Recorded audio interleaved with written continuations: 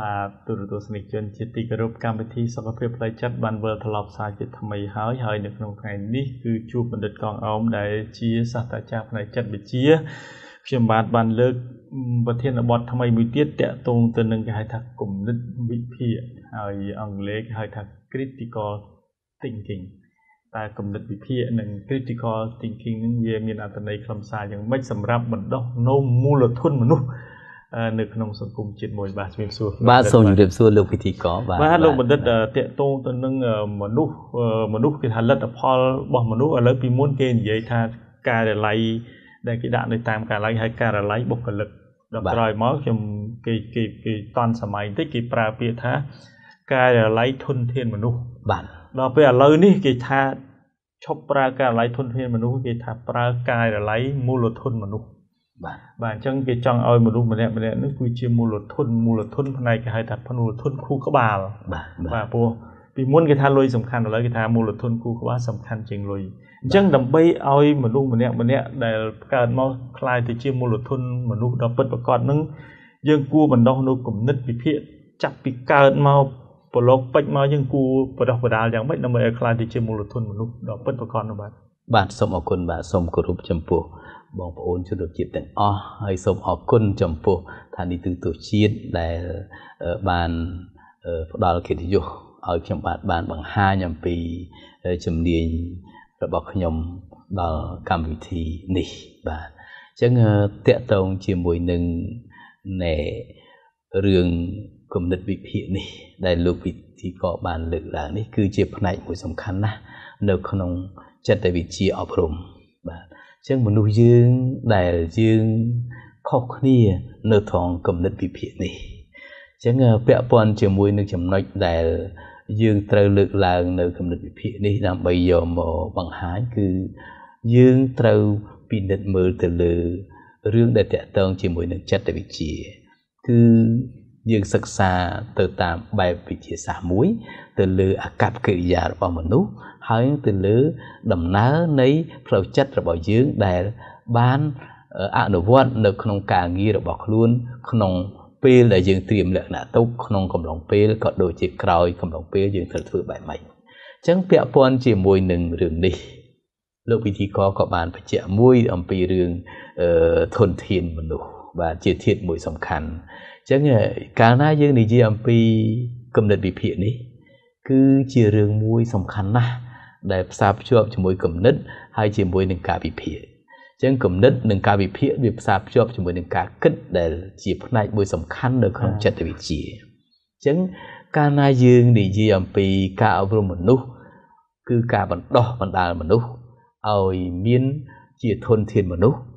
គឺត្រឹមត្រូវហើយ ដែលយើងហៅថា human resources ហើយមិនត្រឹមប៉ុណ្ណឹងទេ គឺយើងចង់បាននៅមូលធនមនុស្សទៀតដែលហៅថា human capital បាទអញ្ចឹងការបង្កើតឲ្យបាននៅធនធានមនុស្សនិងមូលធនទាំងនេះវាត្រូវការឆ្លងកាត់នៅការបណ្ដុះបណ្ដាលអញ្ចឹងកាលណាយើងនិយាយពីចិត្តវិទ្យាអប់រំយើងត្រូវគិតថាតើការបណ្ដុះបណ្ដាលមនុស្សនេះយើងត្រូវធ្វើរបៀបណាបាទនៅក្នុងនោះគឺយើងត្រូវគិតថាមនុស្សគឺជាប្រភេទនៃអឺដូចថា សត្វដែលមានលំដាប់ខ្ពស់បំផុតបាទដោយខុសគ្នាពីសត្វផ្សេងផ្សេងនៅថងថាមានខួរក្បាលប្រកបដោយវិចារណញ្ញាណនេះអញ្ចឹងការអប់រំដែលតកតងជាមួយនឹងចិត្តវិទ្យាគឺថាត្រូវផ្ដោតជាសំខាន់តាំងតែពីតូចមកបាទយើងអត់បាច់និយាយថាអឺកើតមកទេគឺថាត្រូវទៀមទាតាមលក្ខណៈវិទ្យាសាស្ត្រអប់រំ តកតងនឹងចិត្តវិទ្យាអប់រំនោះគឺគេឲ្យរៀបចំតាំងពីពេលមានគរឯនោះបាទតាំងពីពេលមានគរភាសាសាមញ្ញថាតាំងពីនៅក្នុងពោះម៉ែបាទបាទអញ្ចឹងហើយគឺថាការរៀបចំផ្លូវចិត្តម្ដាយឲ្យមានភាពល្អប្រសើរគឺជារឿងសំខាន់ណាស់ជាកាតព្វកិច្ចរបស់អឺបិតានិងមាតាដែលជាចំណុចសំខាន់ ក្នុងការអប់រំមួយហើយអញ្ចឹងហើយបានជាយើងឃើញថានៅក្នុងក្រមគ្រួសារយើងដែលយើងថាអ្នកដែលមានការអប់រំគឺគេបានយកចិត្តទុកដាក់នៅក្នុងការរៀបចំតុបតែងបន្ទប់គេងកន្លែងស្នាក់នៅរបស់គេហ្នឹងគឺមានរបៀបរៀបរយប្រកបទៅដោយថាលក្ខណៈមួយដែលថាស្អាតសមរម្យនេះមានអធិពលធំណាស់បាទហើយ ប្រយ័ត្នប្រយែងមិនត្រឹមតែការរៀបចំប៉ុណ្្នឹងទេប្រយ័ត្នប្រយែងពាក្យសម្ដីទៅលើនៃអឺភរិយារបស់ខ្លួនដែលជាអ្នកមានគរនេះ បាទព្រោះថាត្រូវបដូរអេយ៉ាប័តមួយថាយើងត្រូវមានមនុស្សពិសេសដែលនៅខាងក្នុងជួយរៀបចំបន្ទាប់មកទៀតគឺយើងត្រូវតែគិតគូរសពបែបសពយ៉ាង តាំងពីការ ចំណីអាហារព្រោះថាគេនិយាយថានៅក្នុងចិត្តវិទ្យាគេនិយាយថា you are what you eat សម្រាប់អ្នកដែលមានផ្ទៃពោះអញ្ចឹងត្រូវគិតអំពីរឿងអាហារណាដែលជួយសម្របសម្រួលដោយជួបជាមួយនឹងលោកវិជ្ជបណ្ឌិតដែលជំនាញក្នុងការងារនេះឲ្យបានច្រើនដងបាទអញ្ចឹងដល់ពេលកើតមកជារឿងសំខាន់ណាស់ដែលយើងនិយាយថាការ អប់រំរបស់ឪពុកម្ដាយនេះគឺជាមនុស្សទី1បាទគឺថានៅចិត្តយើងហ្នឹងគឺមនុស្សសំខាន់ជាងគេហ្នឹងគឺឪពុកម្ដាយហ្នឹងដែលជួយដល់កូនហ្នឹងហើយកូនហ្នឹងទទួលអធិពលពីគ្រួសារបន្ទាប់មកទៀតក្រោយពីគ្រួសារហ្នឹងបានល្អត្រឹមត្រូវហើយគឺឪពុកម្ដាយសម្លឹងមើលទៅលើសាលារៀនទៀតបាទអញ្ចឹងសាលារៀនក៏ជាកន្លែងបណ្ដោះបណ្ដាលធនធានមនុស្សនិងមូលធនមនុស្សនេះសំខាន់ណាស់គឺ តាំងពីកម្រិតមតីមធ្យមឧត្តមគឺគិតគូររហូតបាទអញ្ចឹងការអប់រំនេះគឺសំខាន់ណាស់ដើម្បីឲ្យគេទទួលបាននៅបទពិសោធន៍ល្អល្អដែលពាក់ព័ន្ធជាមួយនឹងការបណ្ដុះបណ្ដាលប្រកបទៅដោយគំនិតវិភាគបាទអញ្ចឹងតកតងជាមួយនឹង សាលារៀនហើយគឺតកតងនឹងសង្គមទៀតអញ្ចឹងគឺឪពុកម្ដាយនោះតែងតែស្វែងយល់ពីកូនទៅណាមកណា គឺប្រយ័ត្នប្រយែងណាស់ថាទីតាំងនៅសង្គមនេះគឺមានឥទ្ធិពលធំណាស់នៅក្នុងការជួយអប់រំចិត្តដល់កូនរបស់គាត់អញ្ចឹងសាលារៀនក៏គិតពីរឿងសាលារៀននេះថាតើជាសាលារៀនដែលមានលក្ខណៈបែបណា គឺតាំងពីឥឡូវនេះគឺថាយើងឃើញថាតាំងពីកុមារទូចទូច បាទមិនថាតែនៅក្នុងតំបន់ដែលទីក្រុងទេ រហូតទៅដល់ជនបទគឺផ្នែកខាងនាយកដ្ឋានកុមារតូចរបស់ក្រសួងអប់រំឃើញថាផ្ដោតអារម្មណ៍ខ្លាំងមែនទែនទៅលើការរៀបចំធ្វើឲ្យណែកុមារាកុមារីតូចតូចនឹងបានចូលរៀននេះហើយគឺជាការអប់រំមួយ ហើយអំពើល្អលោកគ្រូអ្នកគ្រូជាពិសេសអ្នកគ្រូនឹងគឺត្រូវបានបំពន់ច្រើនតាមដែលខ្ញុំមើលទៅឃើញព្រោះថាខ្ញុំអាចជួបប្រទេសជាពិសេសនៅស្រុកភូមិរបស់ខ្ញុំដែលមានសាលាមត្តេយនេះក៏អាចថាមានការទទួលបាននៅការអប់រំដែលគាត់និយាយតែពាក្យល្អល្អអាចអាចជាឥទ្ធិពលមួយធំណាស់អញ្ចឹងមួយទៀតគឺនៅពេលដែលគេចូលទៅក្នុងសង្គមចឹងសង្គមនេះគឺជារឿងមួយទាំងអស់គ្នាដែល បង្កើតនៅគំនិតវិភាគដល់អឺសមាជិករបស់សង្គមដែលជាកោសិការបស់សង្គមនោះអញ្ចឹងគំនិតវិភាគគឺជាការប្រមូលផ្ដុំនៅព័ត៌មានទាំងឡាយដែលពាក់ព័ន្ធជាមួយនឹងការបណ្ដោះបណ្ដាលធនធានមនុស្សឲ្យคล้ายទៅជាមូលធនរបស់មនុស្សឲ្យคล้ายទៅជាសម្បត្តិផ្ទាល់ខ្លួនដែលយើងនិយាយថាចំណេះដឹងឬក៏ពុទ្ធិនៅក្នុង មនុស្សម្នាក់ម្នាក់ដែលមានលក្ខណៈខុសគ្នាគឺនៅត្រង់គំនិតវិភាគនេះបាទសូមសូមកម្មប្រសាសន៍លោកបណ្ឌិតបន្តិចបាទទៅបាទសូមជួយបាទមិញមិញគឺថាលោកបណ្ឌិតមានប្រសាសន៍ថាដើម្បីឲ្យមនុស្សម្នាក់ខ្លាយទៅជាមូលធនរបស់ជាតិពិតប្រាកដនោះគឺថាយកចិត្តទុកដាក់តាំងពីនៅក្នុងផ្ទៃម្ដាយន័យថាក្នុងផ្ទៃម្ដាយបើសិនជាទាំងអ្នកជុំវិញខ្លួនម្ដាយហ្នឹងមានទំនាក់ទំនង ធ្វើឲ្យគេថាសតិអារម្មណ៍មិនល្អក៏វាប៉ះពាល់ដល់ទារកនៅក្នុងផ្ទៃបាទបាទពេលដែលកើតមកហើយឪពុកម្ដាយក្នុងផ្ទះនោះក៏ត្រូវតែមានគេថាវិធីសាស្ត្រល្អក្នុងការអប់រំកូនក្នុងផ្ទះបាទទៅសាលាក៏មានវិធីសាស្ត្រល្អទៀតគឺវិធីសាស្ត្រដែលលោកបណ្ឌិតចង់ថាវិធីសាស្ត្រនោះពាក្យថាវិធីសាស្ត្រនឹងយ៉ាងម៉េចគឺមានន័យថាវិធីវិធីសាស្ត្រគឺបញ្ចូលនៅគំនិតវិភាគបាទគំនិតវិភាគបាទ អញ្ចឹងគំនិតវិភាគហ្នឹងភាសាអង់គ្លេសថាដូចខាងដើមលោកបណ្ឌិតមួយខ្ញុំបាទមានរញទៅជ័យគ្នាមិញពាក្យ critical thinking បាទបាទអញ្ចឹង critical thinking ខ្ញុំគិតថាប្រហែលជាគំនិតវិភាគហ្នឹងយើងយកមកពីបរទេសអញ្ចឹងលោកបណ្ឌិតអាចថាប្រៀបធៀបជាភាសាបរទេសហើយយើងវែកញែកមកជាភាសាខ្មែរអំពីគំនិតវិភាគឬក៏ critical thinking ដើម្បីឲ្យ តាំងពីទីរកក្នុងផ្ទៃរហូតទៅដល់ចេញមកបំរើការនៅក្នុងសង្គមនឹងបានផលនឹងតែ critical thinking នឹងយ៉ាងម៉េចទៅបាទបាទសូមអរគុណបាទអឺកន្លែងនេះគឺខ្ញុំសូមជម្រាបជូនបន្តិចអំពីចំណុចដែលពាក់ព័ន្ធជាមួយនឹងគំនិតវិភាគបាទអញ្ចឹងកាលណាយើងនិយាយអំពីគំនិតវិភាគនេះវាផ្សារភ្ជាប់ជាមួយនឹងវិធីសាស្ត្រហើយនឹងវិធីខ្ញុំសូមបញ្ជាក់បន្តិចអំពីលក្ខណៈបែបខុសគ្នារវាងវិធីសាស្ត្រនិងវិធី កាលណាយើងនិយាយពីវិធីសាស្ត្រ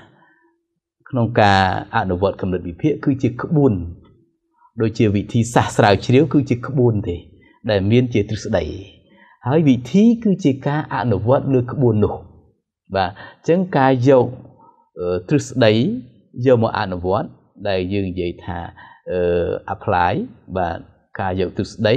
មកអនុវត្តនៅក្នុងសង្គមជាក់ស្ដែងទៅលើជំនាញនីមួយៗអញ្ចឹងតកតងជាមួយនឹងការដែលសិក្សាអំពីទ្រឹស្ដីដែលតកតងជាមួយនឹងចិត្តវិទ្យាអប់រំយើងមានហើយក្នុងនោះគឺយើងយកមកអនុវត្តជាក់ស្ដែងគឺមានវិធីអញ្ចឹងវិធីអប់រំបែបណា ដើម្បីធ្វើឲ្យធនធានមនុស្សដែលជាបុត្រធីតារបស់យើងនេះคล้ายទៅជាមនុស្សដែល ប្រកបទៅដោយញាណគឺចង់បានអឺមានចំណិតមានចំណេះដឹងខាងគំនិតវិភាគនេះនេះជាចំណុចសំខាន់អញ្ចឹងក្បួនវាមានជាច្រើន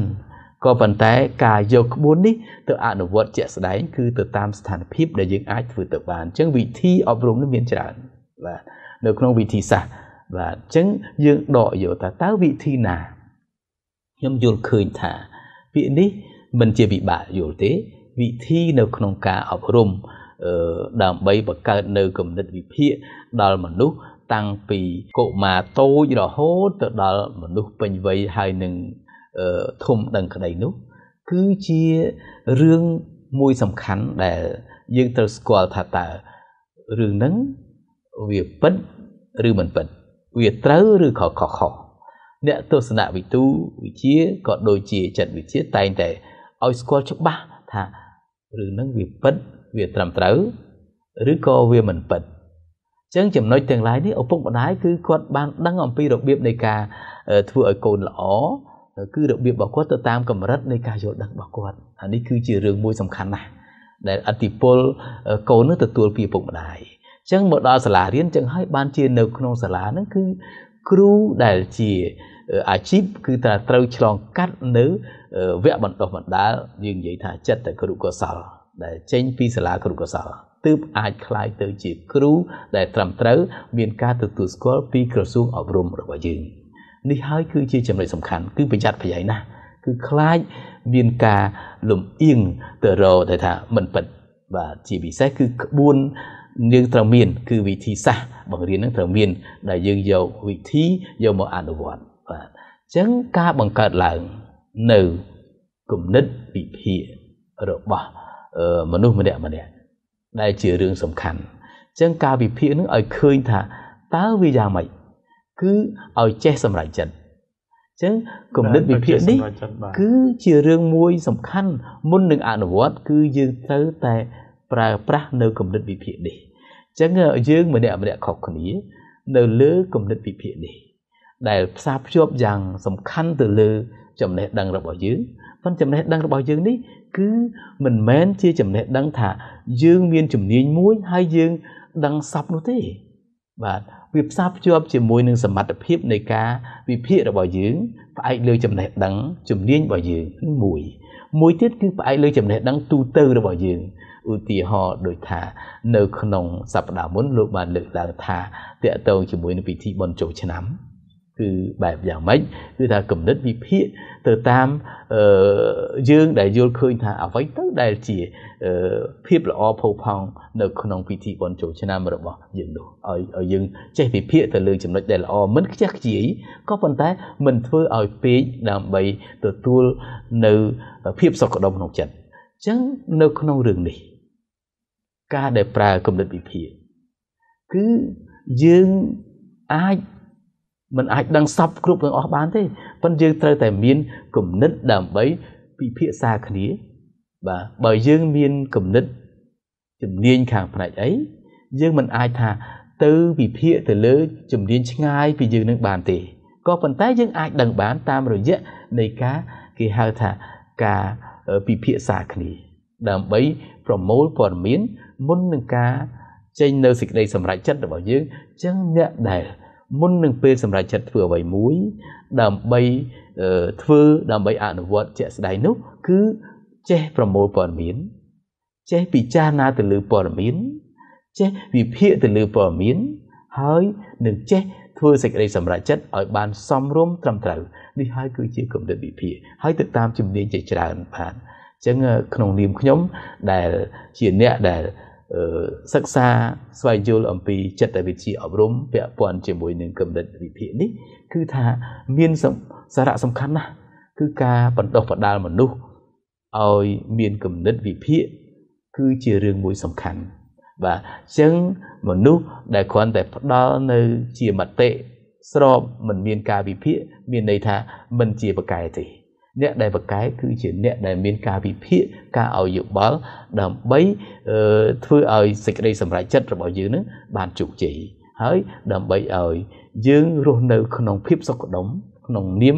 យើងម្នាក់ជាអ្នកដែលមានគំនិតវិភាគ នេះហើយគឺជាលក្ខណៈល្អប្រសើរដែលតកតងជាមួយនឹងគំនិតវិភាគក្នុងការបដិបដាមនុស្សដែលយើងចង់បានបាទអរគុណលោកបណ្ឌិតចេះខ្ញុំធ្លាប់ឮភាសាបរទេសបាទគេនិយាយពាក្យថា 5W18 ហើយ 5W18 នេះខ្ញុំគិតថាប្រហែលជានៅក្នុងផ្នែកចិត្តវិទ្យាឬក៏របៀបនៃការគិតរបស់មនុស្សគឺថាបរៀនគេថានៅស្រុកគេហ្នឹងគេបរៀនកូនចៅឲ្យចេះគិតតាមបែប 5W18 ហ្នឹង តាំងពីក្មេងមកដើម្បីឲ្យឲ្យមនុស្សនោះវាមានគំនិតចេះគិតដោយខ្លួនឯងអញ្ចឹងណាលោកបណ្ឌិតអាចដឹងខ្លះទេតើតើនៅនឹងបាទនៅក្នុងនេះគឺនៅក្នុងចិត្តវិទ្យាអប់រំផ្អែកទៅលើរូបមន្ត 5W18 នេះគឺវាពាក់ព័ន្ធជាមួយនឹងចំណុចថា what គឺអីគឺរឿងអីទៅ ដែលយើងត្រូវផ្ដល់ឲ្យនោះ ជារឿងសំខាន់ណាជាប្រធានបទគឺរឿងអីបាទយើងចង់និយាយពីស្អីនឹងទី2គឺតកតងជាមួយនឹង who បាទដែលពាក់ព័ន្ធជាមួយអ្នកណាខ្លះ ដែលជាធាតចូលយ៉ាងសំខាន់ពាក់ព័ន្ធជាមួយនឹងការរស់នៅជាមួយគ្នាឧទាហរណ៍ថានៅក្នុងពិធីបុណ្យចូលឆ្នាំ គឺឪពុកម្ដាយបងប្អូនសាច់ញាតិហើយនឹងការទៅវត្តដើម្បីគោរពប្រពៃណីជាតិគឺសំខាន់ពាក់ព័ន្ធនឹងមនុស្សទាំងឡាយបាទតកតងជាមួយនឹងទី3គឺ where គឺទីតាំងទីកន្លែងណាចឹងកាលណាយើងនិយាយពីទីតាំងនេះសំខាន់ណាស់ទីតាំងគឺវាបញ្ជាសកម្មភាពរបស់យើង ដើម្បីឲ្យដំណើរផ្លូវចិត្តរបស់យើងសមស្របទៅនឹងទីតាំងនោះឧទាហរណ៍ថាយើងទៅសមុទ្រយើងត្រូវដឹងថាទីតាំងនោះគឺជាសមុទ្រអញ្ចឹងបើសិនជានៅសមុទ្រគឺថាវាមានខ្យល់អាកាសល្អហើយវាមាននៃទេសភាពល្អយើងត្រូវតែផ្ដោតទៅលើការទទួលបានពីទីតាំងនោះហើយបើសិនជារដូវវស្សាគឺថាមេឃតែគ្រាន់តែទូទឹមតិចព្រៀងមកអញ្ចឹងយើងត្រូវយល់ដឹងបាទនឹង ទី4គឺតកតងជាមួយនឹង why បាទហេតុអ្វីហេតុអ្វីបានយើងធ្វើរឿងបាទគឺហេតុអីទៅដែលនាំឲ្យយើងត្រូវយករឿងហ្នឹងមកគិតបាទហើយដើម្បីអ្វីដើម្បីអ្វីបាទអញ្ចឹងនៅក្នុងនេះជារឿងសំខាន់ហើយនៅក្នុងចំណុចដែលយើងថា age នេះគឺថាតកតងជាមួយនឹងរឿងហៅបាទបាទថាតើយើងត្រូវធ្វើយ៉ាងដូចម្ដេច ដើម្បីឲ្យសកម្មភាពរបស់យើង ដែលយើងគិតពីរឿងអ្វីហ្នឹងពាក់ព័ន្ធជាមួយនឹងមនុស្សទាំងឡាយដែលពាក់ព័ន្ធជាមួយយើងហ្នឹងទីតាំងកន្លែងនៃភូមិសាស្ត្ររបស់យើងហ្នឹងក៏ដូចជាពេលវេលា ដែលយើងអាចនិយាយថាវ៉ែនមួយដែរបាទបាទបាទគឺពេលវេលាដែលវាទៅកំណត់ឲ្យយើង បាទហើយនឹង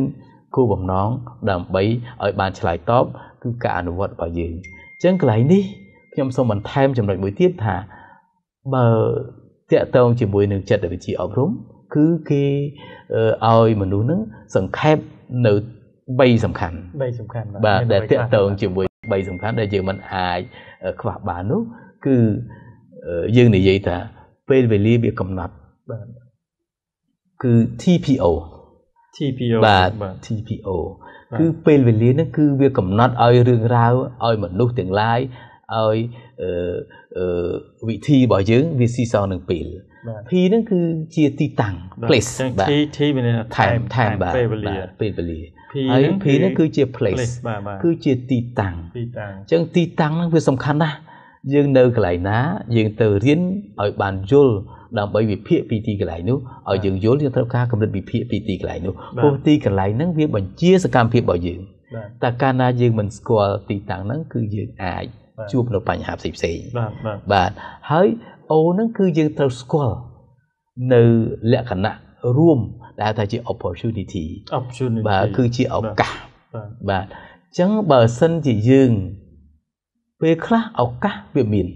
ហើយយើងមិនបានយល់ពីឱកាសនេះផ្ដល់ឲ្យយើងបាទស្រាប់តែឲ្យពេលវេលាឲ្យទីកន្លែងហ្នឹងដែលជាកន្លែងសំខាន់ហ្នឹងវាចោលឱកាសហ្នឹងទៅធ្វើឲ្យផលហ្នឹងវាអត់បាន អញ្ចឹងការវិភាគរបស់យើង គឺយើងត្រូវមើលចំណុច3នេះសង្ខេបទៅលើ 5WH plus 8 5WH នឹងឯងបាទអញ្ចឹងយើងត្រូវតែរៀបចំគិតគូរឲ្យបានល្អអន់ទៅលើរឿងនេះនេះហើយគឺជាធាតុសំខាន់ដែលធ្វើឲ្យយើងយកវិធីនៅក្នុងការអប់រំចិត្តឲ្យคลายទៅជាមនុស្សដែលមានធនធានសំខាន់ក្រោយពី ការបដិបដាលគឺមានគំនិតវិភាគនេះឯងបាទអញ្ចឹងពាក្យថា 5W1A ហ្នឹងចិត្តវិទ្យានៅក្នុងមេរៀនផ្នែកមួយណាដែរនៅក្នុងនេះគឺតកតើនឹងចិត្តវិទ្យាអប់រំចិត្តវិទ្យាអប់រំបាទចិត្តវិទ្យាអប់រំបាទគឺអប់រំមនុស្សឲ្យស្គាល់នៅប្រធានបទអ្វីដែលសំខាន់ព្រោះជីវិតរបស់យើងពេលដែលយើងនៅទូចក៏យើងត្រូវដឹងដែរថាយើងធ្វើអីហើយពេលដែលយើងបំពេញការងារយើង ធ្វើអីហើយបើយើងធ្វើឧទាហរណ៍ថាយើងធ្វើការងារជូនរដ្ឋជាបុគ្គលិករដ្ឋយើងត្រូវតែផ្ដោតសំខាន់ទៅលើរដ្ឋរបស់យើង ជាការងារស្នូលរបស់យើង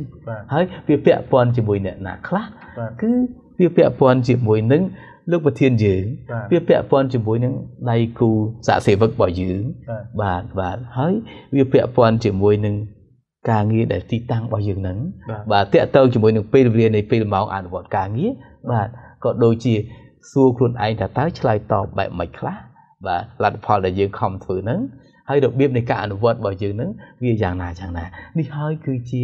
លក្ខណៈពិតដែលផ្សារភ្ជាប់ជាមួយនឹងវិធីសាស្ត្រជាមួយនឹងវិធីដើម្បីយើងបដោះបដាលហើយយើងទទួលបាននៅជោគជ័យគឺធនធានមនុស្សដែលមានគំនិតវិភាគបាទអរគុណលោកបណ្ឌិតដែលបានឆ្លើយទៅនឹងសំណួរតាក់ទងទៅនឹងគំនិតវិភាគហើយ ខ្ញុំធ្លាប់ឮច្រើនដោយតែឥឡូវនេះក្នុងជួបជួបលោកបណ្ឌិតក៏នៅក្នុងខាងចិត្តវិទ្យាក៏គេមាននិយាយ 5W1A ខាងអ្នកសារព័ត៌មានសរសេរអត្ថបទព័ត៌មានក៏គេនិយាយអំពី 5W1A បាទថ្ងៃមុននោះក៏មានអ្នកគ្រូម្នាក់គាត់ទៅបរៀននៅគាត់ជនជាតិបរទេសគាត់បរៀនគាត់ពឹងខ្ញុំទៅឲ្យទៅជួយបកប្រែទៅជាខ្មែរ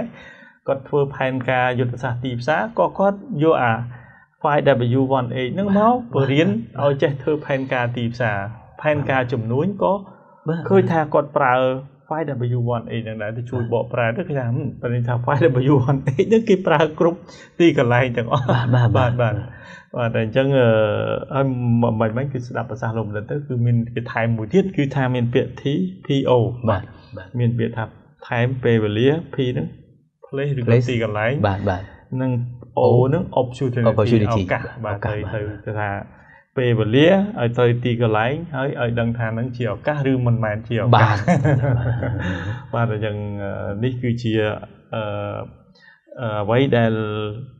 កិច្ចពិភាក្សាជាមួយលោកបណ្ឌិតតកតងនឹងគំនិតវិភាគនៅក្នុងថ្ងៃនេះហើយអ្នកដែលមានគំនិតវិភាគហ្នឹងអ្នកដែលដឹងច្បាស់ជាងគេថាអ្នកដែលមានមិនមានគឺថាសហគ្រិន សហគ្រិនធម្មតានៅពេលគាត់បើកជាធុរកិច្ចគាត់ត្រូវការមនុស្សយកមកប្រើអញ្ចឹងគាត់រើសយកមកអញ្ចឹងគឺថាក្នុងចំណោមអ្នក10អ្នកឬ20អ្នកហ្នឹងគុណភាពរបស់មនុស្សនោះគឺពិតជាខុសគ្នាបាទខុសគ្នាជាពិសេសគឺប្រធានប្រធានស្ថាប័នគេថាអ្នកដឹកនាំស្ថាប័នមួយមួយនោះគាត់ដឹងថាអ្នកណាមានគុណភាពកម្រិតណាមានមូលធននឹងខួរក្បាលកម្រិតណាគឺថាអ្នកដឹកនាំនឹងគាត់ដឹងបាទគាត់ដឹងអញ្ចឹងគាត់អាចវាតម្លៃបាន បាទអញ្ចឹង នៅពេលនេះខ្ញុំបាទជួនធូរជាមួយបណ្ឌិតកងអោមជម្រាបលាពីទស្សនិកជនតែត្រឹមនេះបាទ